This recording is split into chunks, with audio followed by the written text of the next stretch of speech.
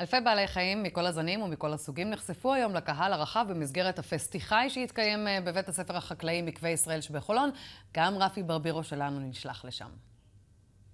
כלבלב, הו בידי במבם, נכנס לאטליף. 1,500 כלבים מכמה גזעים שונים התחרו על התואר כוכב התערוכה, מהקטן ביותר הצ'יוואווה במשקל חצי קילוגרם, ועד הדני הענק שמגיע לכ-90 קילוגרם. פה זה עבודה קשה. זה, זה להריץ את הכלב, לסרק את הכלב, לעשות איתו כושר, זה כמו ספורטאי, הוא לא יכול לשבת כל היום בבית בלי לעשות שום דבר.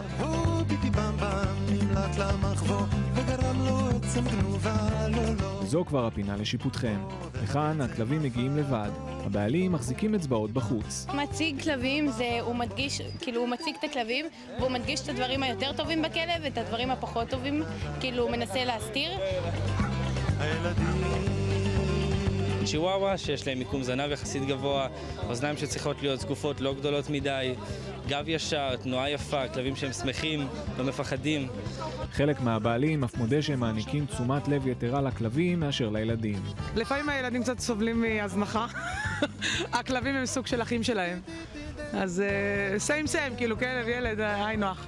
צריך לדעת גם לעשות את הטיפוח היומיומי שהוא העיקר, וזה המקלחות, הסירוק, ההברשה, והם גם נאספים, השיער נאסף לתוך אה, רולים כדי לשמור עליו שיתארך. אבל הכלבים לא לבד, הנחשים כמו יתר הזוחלים, הוצגו גם הם לראווה בפסטיחאי, להם יש יתרון חשוב על חברו הטוב של האדם, הם פשוט לא סבלו מהחום הכבד.